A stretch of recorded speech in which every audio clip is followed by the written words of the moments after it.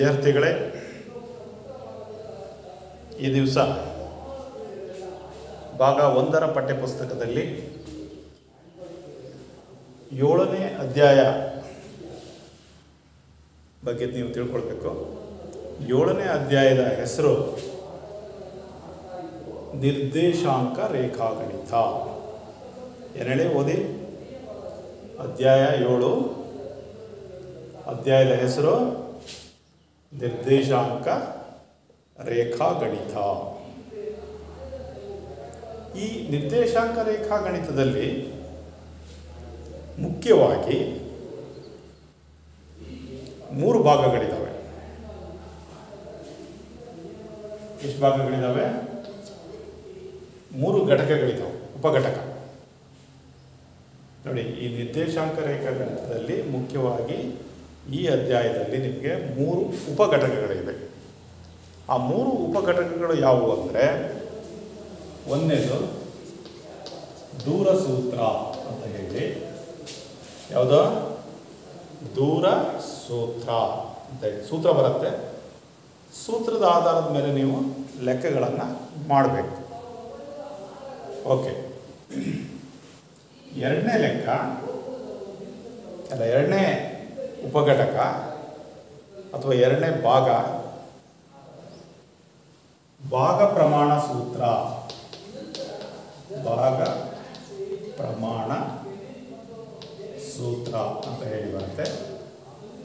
ಮೂರನೇ, ಎರಡನೇ ಉಪಘಟಕ. ಒಂದನೇದು ದೂರ ಸೂತ್ರ. ಎರಡನೇದು ಭಾಗ ಪ್ರಮಾಣ ಸೂತ್ರ. ಹಾಗೆ ಮೂರನೇದು ತ್ರಿಭುಜದ ವಿಸ್ತೀರ್ಣ. ಮೂರನೇದು ಯಾವುದು? ತ್ರಿಭುಜದ ವಿಸ್ತೀರ್ಣ. ಈಗ ನಾವು ಒಂದೊಂದೇ ಮೂರಲ್ಲೂ ಮೂರು ಸೂತ್ರಗಳು ಬರ್ತವೆ. ದೂರ ಸೂತ್ರಕ್ಕೊಂದು ಸೂತ್ರ ಬರುತ್ತೆ. ಅದೇ ರೀತಿ ಭಾಗ ಪ್ರಮಾಣಕ್ಕೊಂದು ಸೂತ್ರ ಬರುತ್ತೆ. ಅದೇ ರೀತಿ ತ್ರಿಭುಜದ ವಿಸ್ತೀರ್ಣಕ್ಕೊಂದು ಸೂತ್ರ ಬರುತ್ತೆ. ಈ ಸೂತ್ರದ ಅನುಗುಣವಾಗಿ ನಾವು ಅಭ್ಯಾಸದಲ್ಲಿರೋ ಲೆಕ್ಕಗಳನ್ನು ಮಾಡಬೇಕು.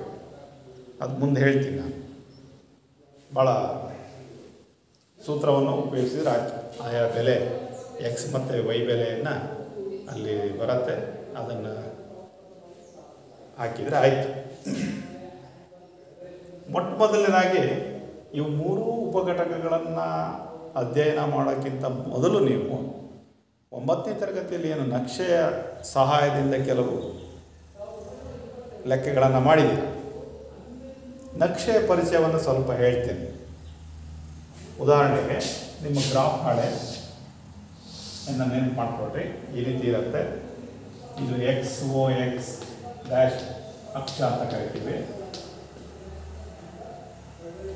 ಈ ಇದನ್ನು ವೈ ಓ ವೈ ಡ್ಯಾಶ್ ಅಕ್ಷ ಅಂತ ಹೇಳಿ ಕರಿತೇವೆ ನೆಕ್ಸ್ಟು ಈ ಬಲ ಒಂದು ಒಂದು, ಮೊದಲನೇ ಭಾಗ, ಎರಡನೇ ಭಾಗ, ಮೂರನೇ ಭಾಗ, ನಾಲ್ಕನೇ ಭಾಗ. ಹೀಗೆ ಒಂದು ಗ್ರಾಫ್ ಹಾಳೆಯನ್ನು ನಾಲ್ಕು ಭಾಗಗಳನ್ನಾಗಿ ಮಾಡ್ತೀವಿ. ಫಸ್ಟು ಎಕ್ಸ್ ಆಕ್ಸಿಸ್ ಹೇಳ್ಕೊಳ್ಬೇಕು. ಎಕ್ಸ್ ಅಕ್ಷವನ್ನು. ನೆಕ್ಸ್ಟು ಲಂಬರೇಖೆ ಅದು ವೈ ಆ್ಯಕ್ಸಿಸ್ಸು ಅಡ್ಡರೇಖೆ ಎಕ್ಸ್ ಆ್ಯಕ್ಸಿಸ್ಸು ಲಂಬರೇಖೆ ವೈ ಆಕ್ಸಿಸ್ ವೈ ಅಕ್ಷ ಅಂತ ಹೇಳಿ ಕರಿತೇವೆ. ಇಲ್ಲಿ ಮೊದಲನೇ ಭಾಗದಲ್ಲಿ ಎರಡು ಬಿಂದುಗಳು ಬರ್ತವೆ, ಅಥವಾ ಎರಡು ಸಂಖ್ಯೆಗಳು ಬರ್ತವೆ, ಅವೆರಡು ಪ್ಲಸ್ ಆಗಿರ್ತವೆ. ಎಕ್ಸು ಪ್ಲಸ್ ಆಗಿರುತ್ತೆ ವೈಯು ಪ್ಲಸ್ ಆಗಿರುತ್ತೆ. ಉದಾಹರಣೆಗೆ ಎರಡು ಕಾಮ ನಾಲ್ಕು. ತಗೊಂಡ್ರೆ ಅವೆರಡು ಮೊದಲನೇ ಭಾಗದಲ್ಲಿ ಬರ್ತವೆ, ಎರಡು ಪ್ಲಸ್ ಇರ್ತವೆ. ಹಾಗಾಗಿ ಎರಡನೇ ಭಾಗದಲ್ಲಿ ಎಕ್ಸ್ ಅಕ್ಷದ ಮೇಲೆ ಮೈನಸ್ ಅಂಕೆ ಬರ್ತವೆ ವೈ ಅಕ್ಷದಲ್ಲಿ ಪ್ಲಸ್ ಬರ್ತವೆ. ಅಂದರೆ ಇದು ಎಕ್ಸ್ ಮತ್ತು ಇದು ವೈ ಎಕ್ಸ್ ವೈ ಮೈನಸ್ ಆಗಿರುತ್ತೆ ವೈಯು ಪ್ಲಸ್ ಆಗಿರುತ್ತೆ. ಉದಾಹರಣೆಗೆ ಮೈನಸ್ ಮೂರು, ಕಾಮ ಐದು. ಎಕ್ಸ್ ಬೆಲೆ ಮೈನಸ್ ಮೂರು ವೈ ಬೆಲೆ ಪ್ಲಸ್ ಇದಾಗಿರುತ್ತೆ ಅದೇ ರೀತಿ ಮೂರನೇ ಭಾಗ. ಎರಡೂ ಮೈನಸ್ ಆಗಿರುತ್ತೆ. ಎಕ್ಸು ಮೈನಸ್ ಎಕ್ಸ್ ಬೆಲೆನೂ ಮೈನಸ್ ಆಗಿರುತ್ತೆ. ವೈ ಬೆಲೆನೂ ಮೈನಸ್ ಆಗಿರುತ್ತೆ. ಉದಾಹರಣೆಗೆ ಮೈನಸ್ ಎರಡು, ಮೈನಸ್ ಒಂದು ಅಂತ ತಗೊಳ್ಬೋದು. ಇಲ್ಲಿ ಎಕ್ಸ್ ಬೆಲೆ ಮೈನಸ್ ಎರಡು ವೈ ಬೆಲೆ ಮೈನಸ್ ಒಂದು. ನೆಕ್ಸ್ಟು ನಾಲ್ಕನೇ ಭಾಗದಲ್ಲಿ ಎಕ್ಸ್ ಬೆಲೆ ಪ್ಲಸ್ ಆಗಿರುತ್ತೆ. ವೈ ಬೆಲೆ ಮೈನಸ್ ಆಗಿರುತ್ತೆ. ಉದಾಹರಣೆಗೆ ಆರು ಕಾಮ ಮೈನಸ್ ನಾಲ್ಕು. ಎಕ್ಸ್ ಬೆಲೆ ಆರ್ ಆಗಿರುತ್ತೆ. ವೈ ಬೆಲೆ ಮೈನಸ್ ನಾಲ್ಕು ಆಗಿರುತ್ತೆ. ಇಷ್ಟು ನೀವು ಗ್ರಾಫ್ ಹಾಳೆಯಲ್ಲಿ ಮೊದಲು ನಿರ್ದೇಶಾಂಕಗಳನ್ನು ಅಥವಾ ಎಕ್ಸ್ ಮತ್ತು ವೈ ಬೆಲೆಯನ್ನು ಗುರುತಿಸಬೇಕಾದ್ರೆ ಇದನ್ನು ಫಸ್ಟ್ ತಿಳ್ಕೊಳ್ಬೇಕು.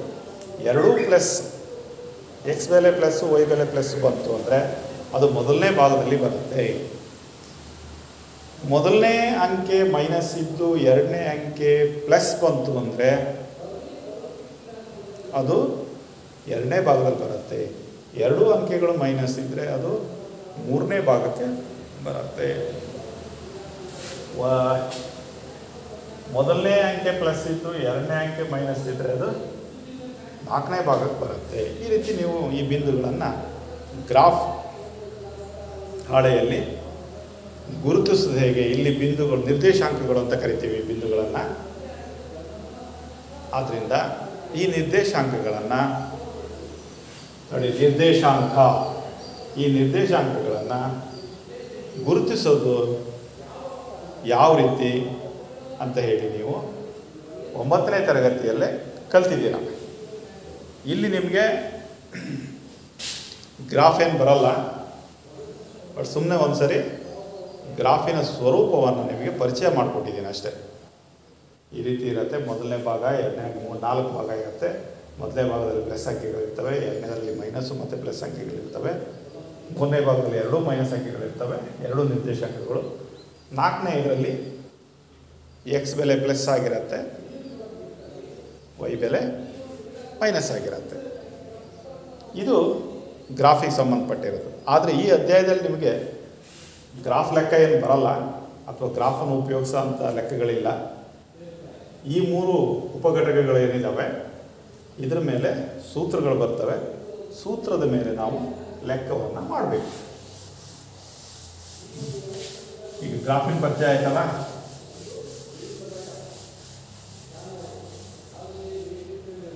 ನೋಡಿ, ಗ್ರಾಫಿನ್ ಲೆಕ್ಕ ಎಲ್ಲಿ ಬರ್ತವೆ ಅಂದರೆ ನಿನ್ನೆ ದಿವಸ ಮಾಡೋದೇನಲ್ಲ ರೇಖಾತ್ಮಕ ಸಮೀಕರಣಗಳ ಜೋಡಿ ಅಲ್ಲಿ ಬರತ್ತೆ. ಈಗ ಒಂದೊಂದನ್ನೇ ನೋಡೋಣ ಉಪಘಟಕಗಳನ್ನ. ಒಂದನೇದು ದೂರ ಸೂತ್ರ ಫಸ್ಟ್ ನೀವು ಇದಕ್ಕೆ ಸೂತ್ರ ಕಲ್ತ್ಕೊಳ್ಬೇಕು. ಸೂತ್ರದ ಆಧಾರದ ಮೇಲೆ ಅಭ್ಯಾಸದ ಲೆಕ್ಕಗಳನ್ನು ಮತ್ತು ಉದಾಹರಣೆ ಲೆಕ್ಕಗಳನ್ನು ಮಾಡಬೇಕು.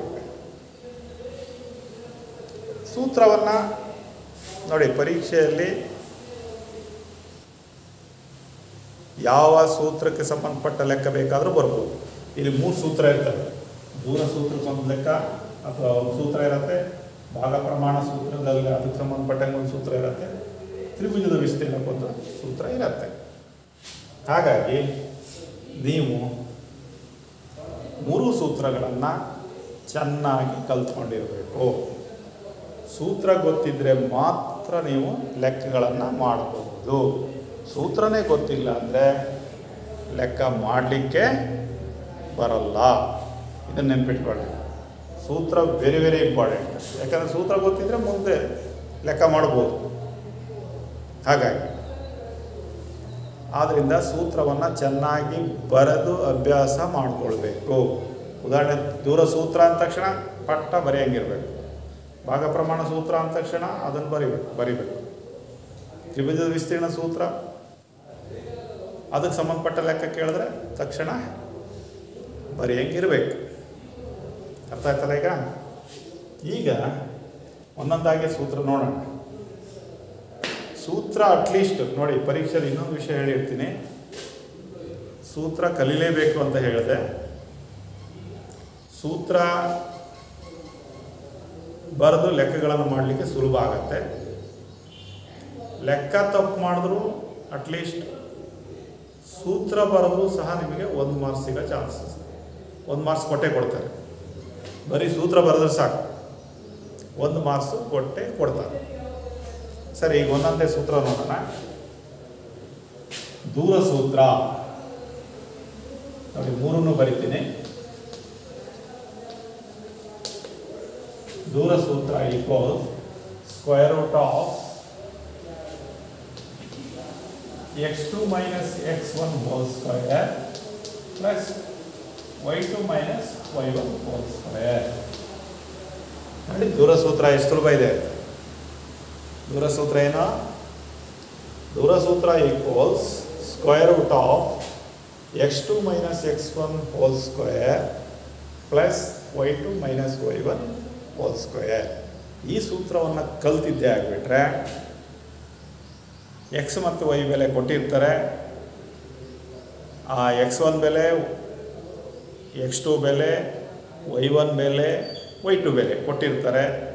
ನೀವು ಲೆಕ್ಕ ಕೊಟ್ಟ ತಕ್ಷಣ ಸೂತ್ರ ಬರೆದು ಎಕ್ಸ್ ಒನ್ ಜಾಗದಲ್ಲಿ ಎಕ್ಸ್ ಬೆಲೆ ಎಕ್ಸ್ ಒನ್ ಜಾಗದಲ್ಲಿ ಎಕ್ಸ್ ಒನ್ ಬೆಲೆ ವೈ ಒನ್ ಜಾಗದಲ್ಲಿ ವೈ ಒನ್ನು ಎಕ್ಸ್ ಟು ಜಾಗದಲ್ಲಿ ಎಕ್ಸ್ ಟು ವೈ ಟು ಜಾಗದಲ್ಲಿ ವೈ ಟು ಬೆಲೆ ಬರೆದ್ಬಿಟ್ರಿ ಅಂದರೆ ಬರೆದು ಸುಲಭ ರೂಪಕ್ಕೆ ತಂದುಬಿಟ್ರೆ ನಿಮ್ಮ ಲೆಕ್ಕ ಆಯಿತು. ಎರಡು ಮಾರ್ಕ್ಸ್ ಮೂರು ಮಾರ್ಕ್ಸ್ ಇದ್ದರೆ ಇಮ್ಮಿಡಿಯೇಟ್ ನಿಮಗೆ ಲೆಕ್ ಮಾರ್ಕ್ಸ್ ಸಿಗ್ತವೆ. ಅದಕ್ಕೋಸ್ಕರ ಸೂತ್ರ ಇಂಪಾರ್ಟೆಂಟ್ ಅಂತ ಹೇಳಿ ಸರಿ. ಭಾಗ ಪ್ರಮಾಣ ಸೂತ್ರ ನೋಡೋಣ ಭಾಗ ಪ್ರಮಾಣ ಸೂತ್ರ equals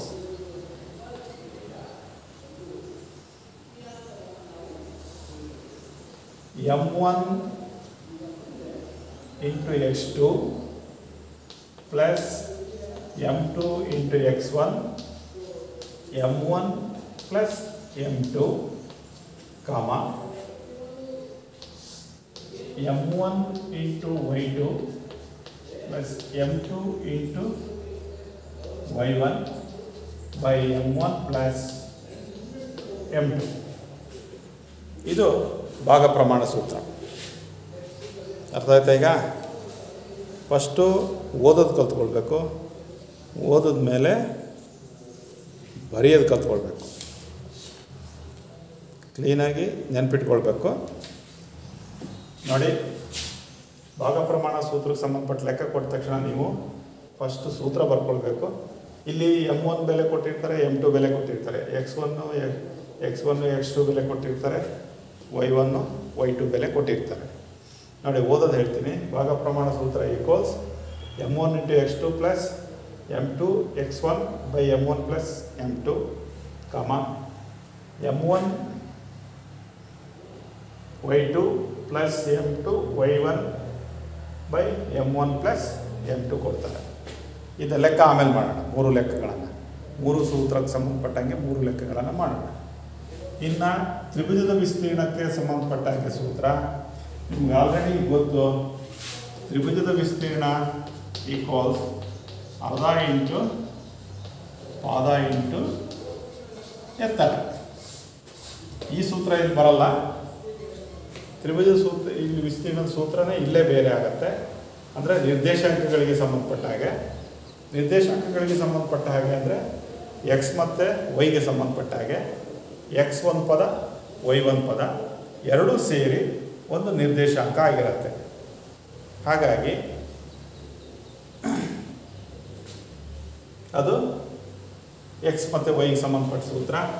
ನೋಡಿ, ತ್ರಿಭುಜದ ವಿಸ್ತೀರ್ಣ ಈಕ್ವಲ್ಸ್ ಅರ್ಧ into x one into y two minus y one plus ನೋಡಿ ಎಕ್ಸ್ ಒನ್ ಆದಮೇಲೆ x two into y two ಆದಮೇಲೆ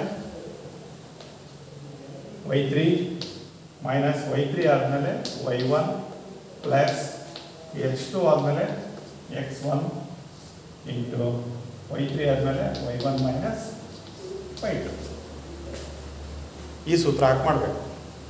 ಇದು ತ್ರಿಭುಜದ ವಿಸ್ತೀರ್ಣದ ಸೂತ್ರ.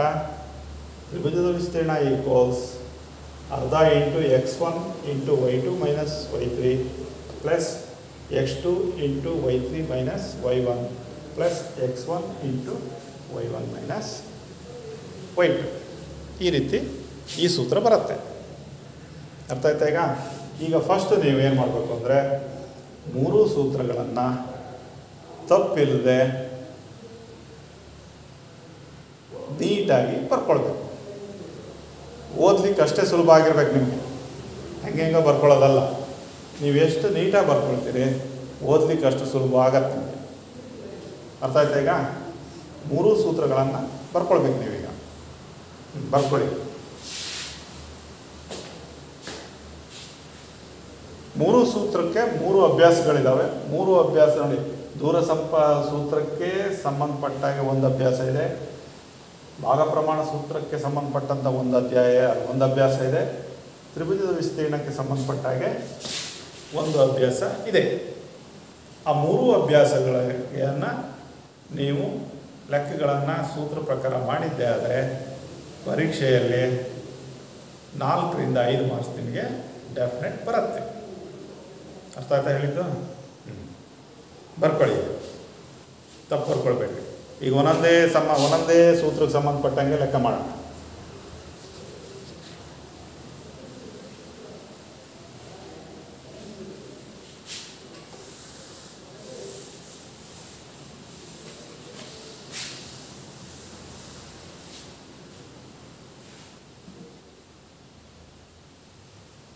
ಆಯಿತಾ ಒಂದನೇದು?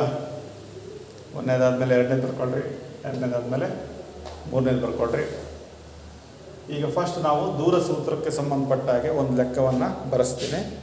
ಆಮೇಲೆ ಮಾಡೋಣ.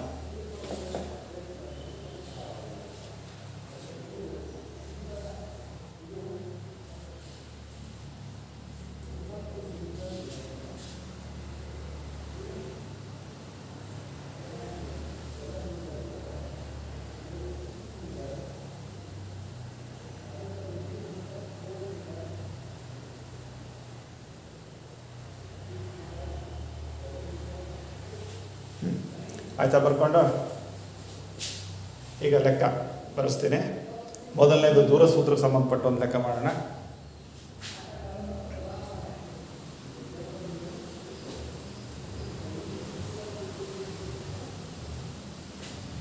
ರೈಟ್ ಲೆಕ್ಕ ಬರ್ಕೊಳ್ರಿ ಒಂದನೇದು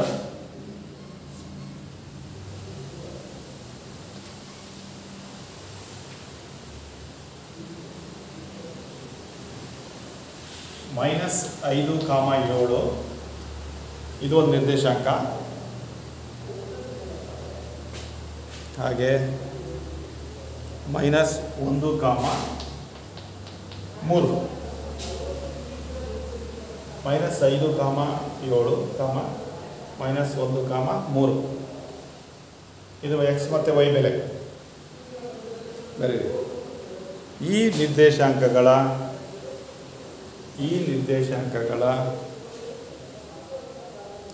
ಜೋಡಿಗಳ ಜೋಡಿಗಳ ನಡುವಿನ ದೂರವನ್ನು ನಡುವಿನ ದೂರವನ್ನು ಕಂಡುಹಿಡಿಯಿರಿ. ನಡುವಿನ ದೂರವನ್ನು ಕಂಡುಹಿಡಿಯಿರಿ ನೋಡಿ ಎಲ್ಲ ಇದೆ. ಲೆಕ್ಕದಲ್ಲೇ ಸೂತ್ರ, ಯಾವ ಸೂತ್ರ ಬರ್ಕೊಳ್ಬೇಕು ಅಂತ ಇದೆ ನಿಮಗೆ. ಲೆಕ್ಕ ಬರ್ಕೊಂಡ್ರಾ? ಈ ನಿರ್ದೇಶಾಂಕಗಳ ಜೋಡಿಗಳ ನಡುವಿನ ದೂರವನ್ನು ಕಂಡುಹಿಡಿಯಿರಿ. ಓಕೆ. ಈಗ ದೂರ ಸೂತ್ರ ಹಾಕ್ಕೊಳ್ಬೇಕು ದೂರ ಸೂತ್ರ ಬರ್ಕೊಳ್ಳೋಣ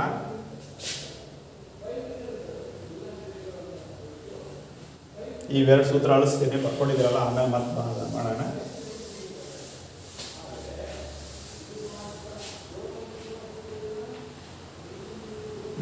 ಈಗ ನೋಡಿ ಫಸ್ಟ್ ಸೂತ್ರ ಬರ್ಕೊಳ್ಬೇಕು. ದೂರ ಸೂತ್ರ equal square root of x two minus x one whole square plus y two minus y one whole square ಸೂತ್ರ ಬರ್ಕೊಂಡ್ರಾ?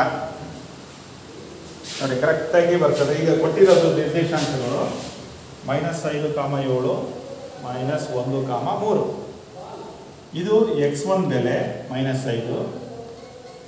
ಇದು ವೈ ಒನ್ ಬೆಲೆ, ಏಳು. ಅದೇ ರೀತಿ ಇದು ಎಕ್ಸ್ ಟು ಬೆಲೆ, ಇದು ವೈ ಟು ಬೆಲೆ. ಫಸ್ಟ್ ಈಗ ಬರ್ಕೊಂಡು ಬಿಡಬೇಕು. ಲೆಕ್ಕ ಮಾಡೋಕ್ಕೆ ಸುಲಭ ಆಗುತ್ತೆ ನೋಡಿ ಎಕ್ಸ್ ಒನ್ ಎಷ್ಟು? ಮೈನಸ್ ಐದು. ವೈ ಒನ್ ಎಷ್ಟು? ಏಳು. ಎರಡನೇದರಲ್ಲಿ ಎಕ್ಸ್ ಟು ಎಷ್ಟು ಮೈನಸ್ ಒನ್ ವೈ ಟು ಎಷ್ಟು ಪ್ಲಸ್ ತ್ರೀ ಈ ರೀತಿ ನೀವು ಎಕ್ಸ್ ಒನ್ ಬೆಲೆಯನ್ನು ಬರ್ಕೊಂಡು ಬಿಟ್ಟರೆ ಲೆಕ್ಕ ಮಾಡೋಕ್ಕೆ ನೋಡಿ, ಸೂತ್ರ ಪ್ರಕಾರ. ಫಸ್ಟ್ ಸ್ಕ್ವೇರ್ ರೂಟ್ ಇದೆ ಸ್ಕ್ವೇರ್ ರೂಟ್ ಹಾಕ್ಕೊಳ್ತೀವಿ ನೋಡಿ ಎಕ್ಸ್ ಟು ಇದ್ರ ಜಾಗದಲ್ಲಿ ಎಷ್ಟು ಹಾಕಬೇಕು?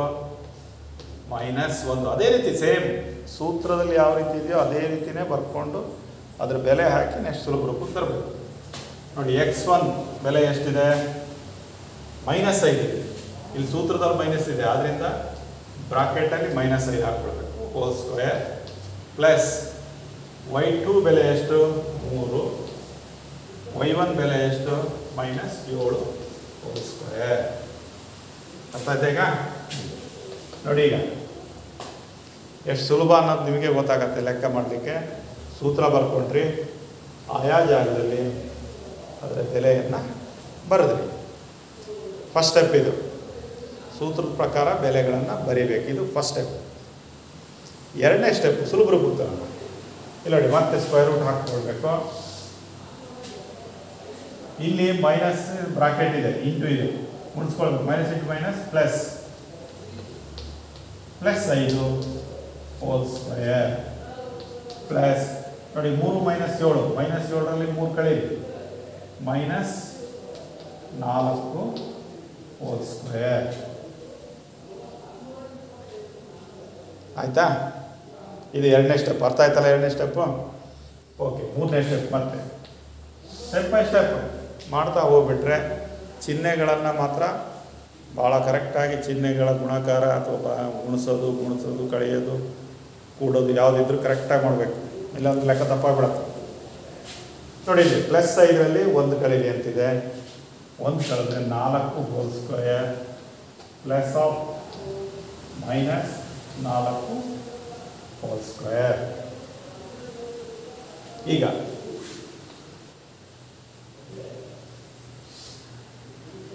ನಾಲ್ಕು ಹೋಲ್ ಸ್ಕ್ವೇರ್ ಅಂದರೆ ಹದಿನಾರು. ಇಲ್ಲಿ ನೋಡಿ ಮೈನಸ್ ಇಂಟು ಮೈನಸ್ ಪ್ಲಸ್ ನಾಲ್ಕು ನಾಲ್ಕು, ಹದಿನಾರು. ಹದಿನಾರು ಪ್ಲಸ್ ಹದಿನಾರು. ಎಷ್ಟಾಗತ್ತೆ? ಮೂವತ್ತೆರಡು. ವರ್ಗ ವರ್ಗಮೂಲ ಮೂವತ್ತೆರಡು ಹೀಗೂ ಬರೀಬೋದು. ಹೇಗೆ ಬರಿಬೋದು? ನಾಲ್ಕು ಇಂಟು ಅಥವಾ ಹದಿನಾರು ಇಂಟು ಎರಡು ಬರೀಬೋದು. ಅವಾಗ ಹದಿನಾರು ವರ್ಗಮೂಲ ಹೊರಗಡೆ ಬರೋದು ನಾಲ್ಕು ರೂಟ್ ಎರಡು. ಈ ರೀತಿ ನಾವು ಲೆಕ್ಕವನ್ನು ಮಾಡ್ಬೋದು. ನೋಡಿ, ಬಂತು ಬೆಲೆ. ಇಷ್ಟ ಇದು? ಏನು ಕಷ್ಟ ಇದೆ ಈಗ? ಕಷ್ಟ ಇಲ್ಲ ಅಲ್ವಾ?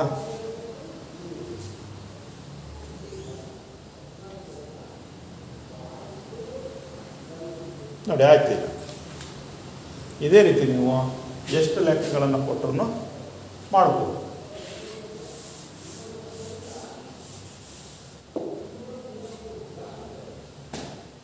ಆಯಿತಾ? ಬರ್ಕೊಳ್ಳಿ ಲೆಕ್ಕ. ನೋಡಿ, ಅರ್ಥ ಆಗ್ತೀರಿ ಕೇಳ್ರಿ. ಯಾವ ಲೆಕ್ಕ, ಯಾವ ಹಂತದಲ್ಲಿ ನಿಮಗೆ ಅರ್ಥ ಆಗಿಲ್ಲ, ಅದನ್ನು ನೀವೇನು ಮಾಡ್ಬೋದು? ಕೇಳ್ಬೋದು. ಹಾಗೆ.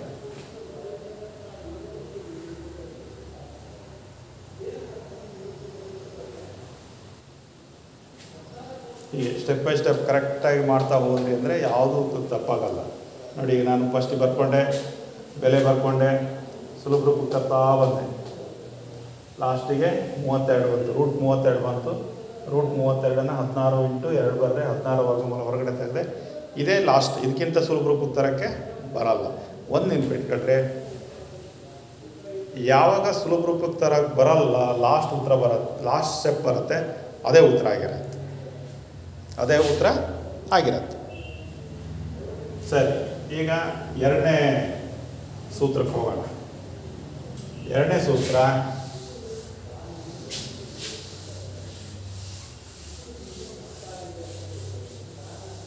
ಭಾಗ ಪ್ರಮಾಣ ಸೂತ್ರ. ನಾನು ಮೊದಲೇ ಬರೆಸಿದ್ದೀನಿ ಒಬ್ರು ಹೋದ್ರಪ್ಪ ಭಾಗ ಪ್ರಮಾಣ ಸೂತ್ರ equals m one into x two plus m two into x one by m one plus m two comma m one into y two plus m two y one by m one plus m two ಈ ಸೂತ್ರ ಸಮರ್ಪಕವಾಗಿ ಲೆಕ್ಕ ಈಗ ಒಂದು ಲೆಕ್ಕ ಬರೆಸ್ತೇನೆ.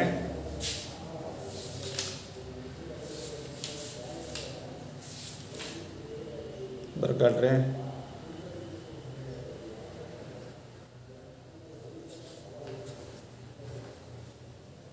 ಅಭ್ಯಾಸದ ಲೆಕ್ಕವನ್ನು ಬರೆಸ್ತೀನಿ. ನೀವು ಅಭ್ಯಾಸದ ಲೆಕ್ಕ ಮತ್ತು ಉದಾಹರಣೆ ಲೆಕ್ಕ ಎರಡೂ ಮಾಡಬೇಕು.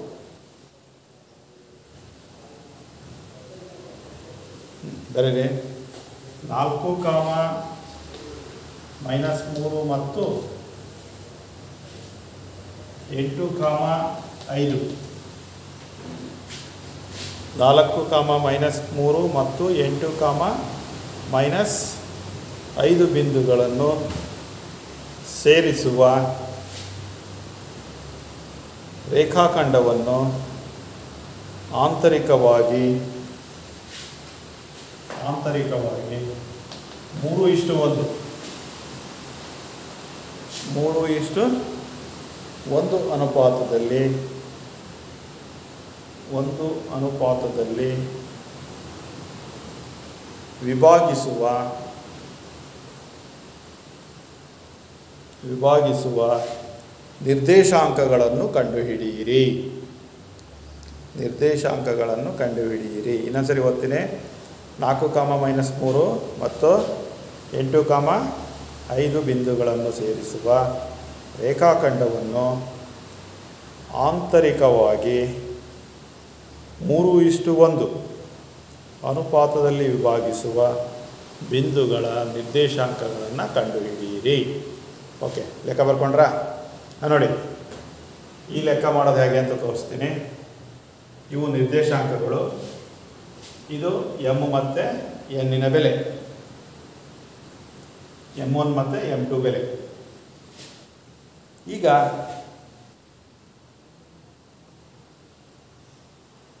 ಮೊದಲಿನ ಲೆಕ್ಕ ಮಾಡಿದಾಗ ಇದು ಎಕ್ಸ್ ಒನ್ ಬೆಲೆ. ಮೊದಲನೇದು ಎಕ್ಸ್ ಒನ್ ಬೆಲೆ.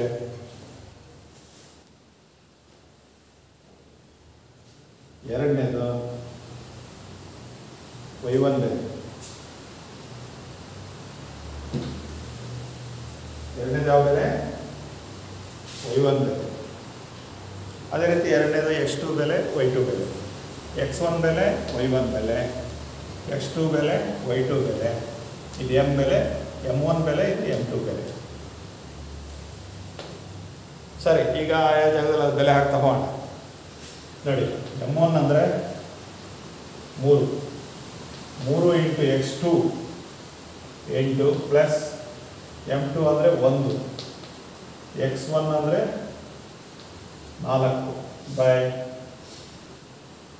ಮೂರು ಪ್ಲಸ್ ಒಂದು ಕಾಮ. ಈ ಕಡೆ ಬರೋಣ ಎಂ ಒನ್ ಅಂದರೆ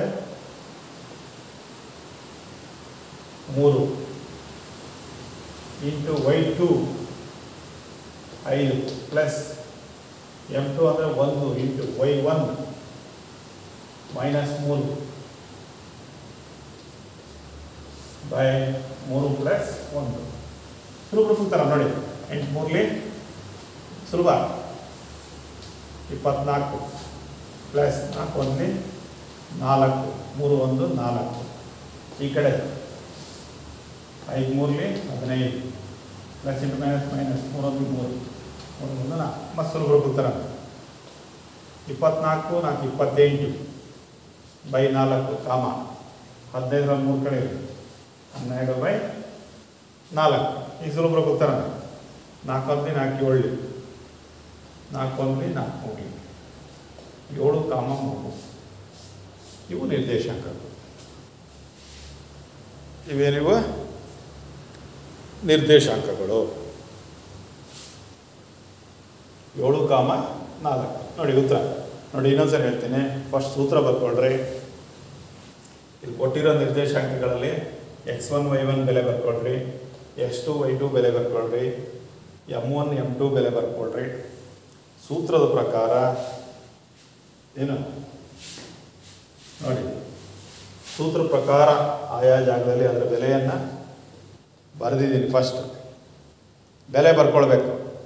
ನೆಕ್ಸ್ಟ್ ಸ್ಟೆಪ್ ಸ್ವಲ್ಪ ರೂಪಾಯಿ ನೋಡಿ, ಇವೆರಡರ ಮಧ್ಯೆ ಎಂಟು ಇದೆ ಗುಣಿಸಿದ್ದೀನಿ ಎಂಟು ಮೂರಲಿ ಇಪ್ಪತ್ನಾಲ್ಕು ಪ್ಲಸ್ ನಾಲ್ಕು ಒಂದು ನಾಲ್ಕು, ಮೂರು ಪ್ಲಸ್ ಒಂದು ನಾಲ್ಕು.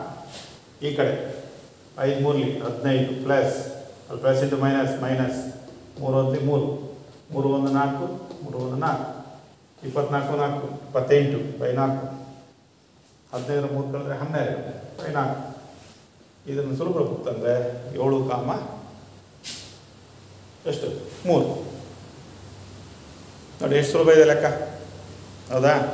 ಹಾಗಾಗಿ ನೀವು ಪ್ರತಿಯೊಂದು ಲೆಕ್ಕಗಳನ್ನು ಮಾಡಬೇಕಾದ್ರೆ ಸೂತ್ರ ನಾನು ಮೊದಲೇ ಹೇಳಿದಾಗೆ ಭಾಳ ಭಾಳ ಇಂಪಾರ್ಟೆಂಟು ಆ ಸೂತ್ರ ಪ್ರಕಾರ ಲೆಕ್ಕವನ್ನು ಮಾಡ್ತಾ ಹೋದ್ವಿ ಅಂದರೆ ಸ್ಟೆಪ್ ಬೈ ಸ್ಟೆಪ್ ಸುಲಭ ಆಗುತ್ತೆ. ನೋಡಿ, ಪರೀಕ್ಷೆಯಲ್ಲಿ ನೀವು ಯಾವ ಲೆಕ್ಕ ಕೊಟ್ಟರು ಮಾಡ್ತೀನಿ ಅನ್ನೋ ಒಂದು ಧೈರ್ಯ ಬಂತು ಹೌದಾ? ಧೈರ್ಯ ಬರ್ಬೇಕಾದ್ರೆ ನಿಮಗೆ ಸೂತ್ರ ಗೊತ್ತಿರಬೇಕು. ಸೂತ್ರ ಗೊತ್ತಿದ ಮೇಲೆ ಅದರ ಬೆಲೆ ಹಾಕಿ ಸುಲಭ ತರಬೇಕು. ಸುಲಭ ತರಾಗಲೂ ಅಷ್ಟೇ ನಾನು ಮೊದಲೇ ಹೇಳಿದಾಗೆ ಪ್ಲಸ್ಸು ಮೈನಸ್ಸು ಇಂಟು ಇವನ್ನೆಲ್ಲ ಭಾಳ ಜಾಗ್ರತೆಯಿಂದ ಮಾಡಿದ್ದೇ ಆದರೆ ನೀವು ಯಾವ ಲೆಕ್ಕ ಬೇಕಾದ್ರೂ ಆರಾಮಾಗಿ ಮಾಡಬಹುದು. ಅರ್ಥ ಆಯ್ತಲ್ಲ? ಎಷ್ಟು ಈ ಲೆಕ್ಕ ಬರ್ಕೊಳ್ರಿ. ಬರ್ಕೊಂಡು ಅಭ್ಯಾಸದಲ್ಲಿ ತುಂಬ ಲೆಕ್ಕಗಳಿದ್ದಾವೆ ಅವನ್ನು ಮಾಡಿರಿ. ರೀಸರ್ ಪೀರಿಯಡಲ್ಲಿ ಮತ್ತು ಮನೆಗೆ ಹೋಗಿ ಒಂದು ವೇಳೆ ಯಾವ ಲೆಕ್ಕ ಅರ್ಥ ಆಗಿಲ್ಲ ಏನು ಮಾಡ್ಬೇಕು? ಅಲ್ಲಿಗೆ ಬಿಡಬೇಕಾ? ಹ್ಞೂ ಒಂದು ವೇಳೆ ಯಾವ ಲೆಕ್ಕ ಅರ್ಥ ಆಗಿಲ್ಲ, ಏನು ಮಾಡ್ಬೇಕು? ಮಾರನೇ ದಿವಸ ಬಂದು ನನ್ನನ್ನು ಕೇಳಬೇಕು, ಹೇಳಿಸ್ಕೊಳ್ಬೇಕು. ಅರ್ಥ ಆದ ಲೆಕ್ಕ ಅಲ್ಲಿಗೆ ಬಿಡೋದಲ್ಲ. ಅರ್ಥ ಆಯ್ತಾ ಹೇಳಿದ್ದು? ಸರಿ, ಓಕೆ.